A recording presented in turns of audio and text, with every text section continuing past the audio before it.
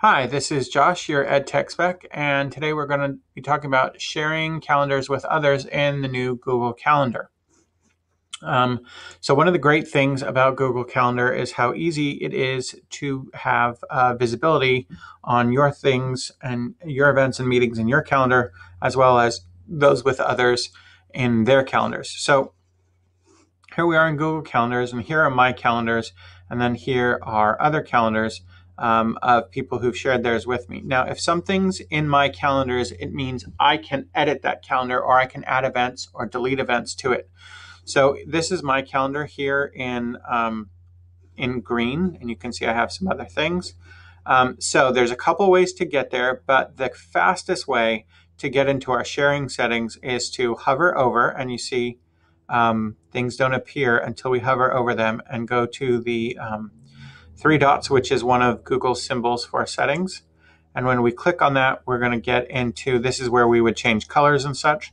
Uh, but what we're going to get into is settings and sharing. And what this will do is bring up the settings for just this calendar. And we're going to talk specifically about sharing. Now, there's two kinds of sharing, um, especially if you are in a Google domain, which we here in the Alisal Union School District are. So for starters, um, people can just, let's head back for a second um, to here. So if we get rid of these and we scroll down, we can actually come up here and say add a coworker's um, calendar. So if I type in a coworker's name, depending on how they have set their access permissions, which is like sharing, I will be able to get it or they will just get an email requesting that I do that. So let's talk about access permissions uh, first. Whoops. So again, we're going to, we would click the three dots here and then go to settings and sharing. Now, um, here we are. So you have access, here's sort of a table of contents. So we're going to go to access permissions. If I click on that, just brings it up to the top.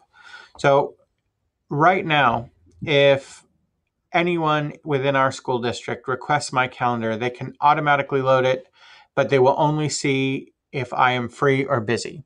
It hides details. Because I've, if I turn that off, then only the people I've specifically shared it with, and they will have to request it. But I like to keep mine turned on so people can use it. This will also uh, later help us when we want to use the find a time feature.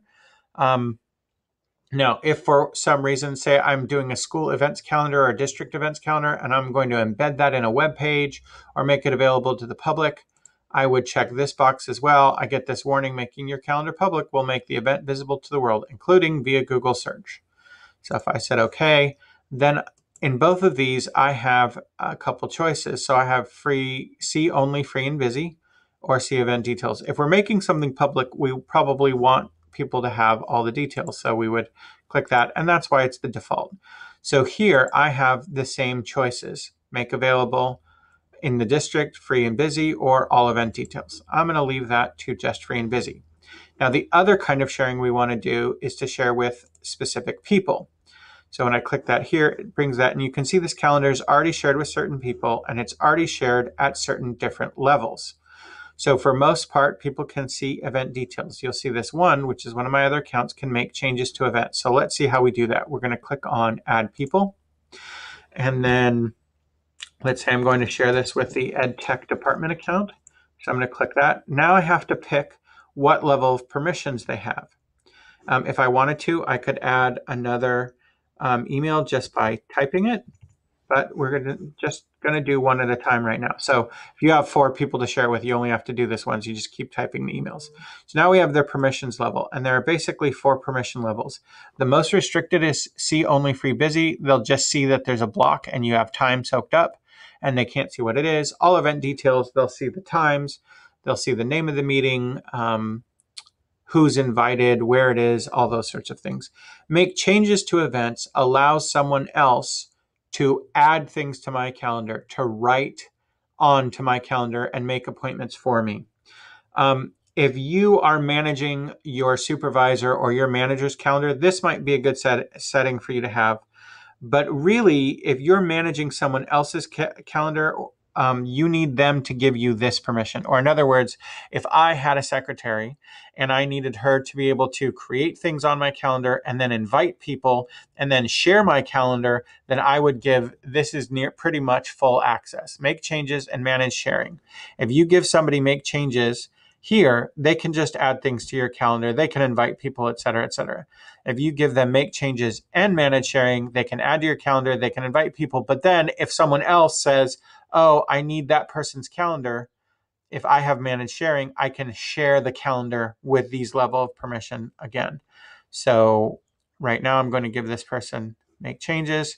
Then I'm going to click send. Now, this email address will get an email saying that I've shared my calendar with them with permissions. If I decide later on I want to change it, all I have to do is come in here and change the permissions. And I can change them up or I can change them down, and it's really uh, not a problem whatsoever.